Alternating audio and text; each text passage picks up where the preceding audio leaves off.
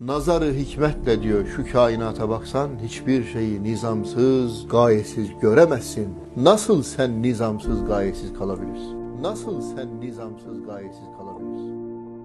Kainatta hiç nizamsız, gayesiz, boşu boşuna yaratılan bir mahluk var mı? Öyleyse şu kainatın en şerefli mahluku, adeta kainat ağacının meyvesi, neticesi konumunda kıymetdar bir mahluk olan insanın da hedefsiz, gayesiz dünyaya gönderilme ihtimali düşünülemez. Öyleyse gönderen zat insanı ne yapmış? Bir memur ve misafir olarak göndermiş. Bir memur ve misafir olarak göndermiş.